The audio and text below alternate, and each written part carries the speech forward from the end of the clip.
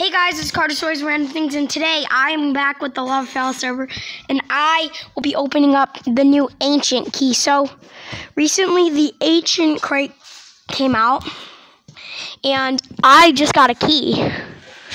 So let's go open it. Ready? So there it is, the beautiful Ancient Crate, and it has got this King Tut's mask. I don't want that. I really, I kind of want that. I, I, I kind of want that. I really don't want those. The boots suck. I don't want the hammer. I do want any of the swords, just not the staff of Usit. But all, but I really kind of want the ancient dance sword, the Hura's dagger, and also the bow. And I don't really want that ancient pickaxe. Mm the Heth Sith. Uh, no, I have no use.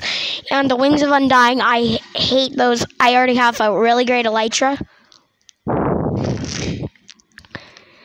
Oops. And I really don't want the sarcophagus or the villager's honor. Let's open it.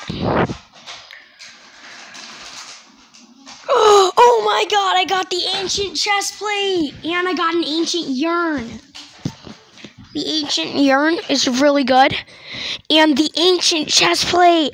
Oh my god, and it's got Plague Waver 3. What are the max Plague Wavers? So what are the max Plague waivers? I think that this is really good. It's got protection, Oh my god. Like, this is way good. I'm going to see what people will offer for it. So I'm just going to go, I offers. I paid 8 mil for this key, so I wonder what people will offer. I hope that it's over 8 mil.